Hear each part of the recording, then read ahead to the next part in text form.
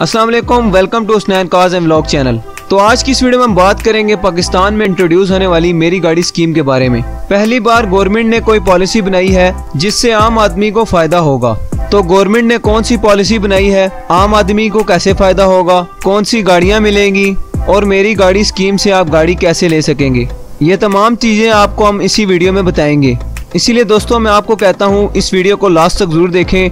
ये वीडियो हर पाकिस्तानी के लिए बहुत ज़रूरी है। चैनल पर नए हैं तो चैनल को मेरे लाजमी सब्सक्राइब कीजिएगा और बेल आइकन को ऑल पर इनेबल कर दें ताकि आपको लेटेस्ट वीडियोस की अपडेट मिलती रहे। इस चैनल पर आपको जो भी इन्फॉर्मेशन दी जाती है, वो प्रॉपर सर्च के बाद दी जाती है।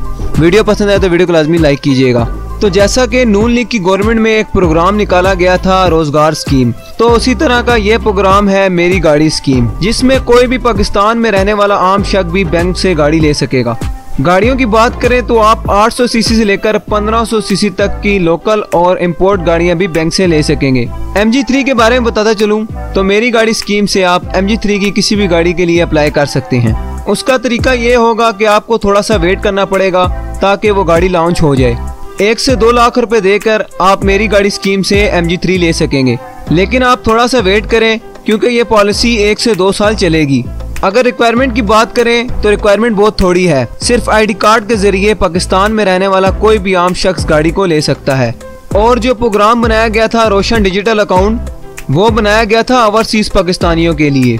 और मेरी गाड़ी स्कीम स्पेशल ये प्रोग्राम बनाया गया है पाकिस्तान में रहने वाले आम शख्स के लिए। जिसकी इनकम बहुत ही कम है, वो भी इस स्कीम के ज़रिए आसानी से गाड़ी ले सकेगा। तो ये एक बहुत ही अच्छा स्टेप है पाकिस्तान की आवाम के लिए कि पहली बार आप बैंक से आसानी से मोटरसाइकिल जितनी प्राइस में, यानी कि एडवांस पेमेंट एक से दो लाख रुपए देकर 800 सीसी से 1500 सीसी की कोई भी गाड़ी ले सकेंगे। अगर आप भी इस स्कीम से फ़ायदा उठाना चाहते हैं तो अपने तमाम तर डॉक्यूमेंट रेडी रखें, जैसा कि ड्राइविंग लाइसेंस और आईडी कार्ड वगैरह। और ये जो प्रोग्राम बनाया गया है, मेरी गाड़ी स्कीम एक से दो महीनों में इम्प्लीमेंट की जाएगी। और जैसे ये प्रोग्राम इम्प्लीमेंट होगा तो इसमें अप्लाई करने का तरीका हम इसी चैनल पर आपको बता देंगे।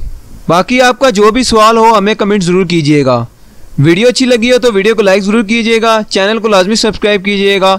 आपको बताते चलूँ कि पाकिस्तान में गाड़ियों की प्राइस कम हुई है।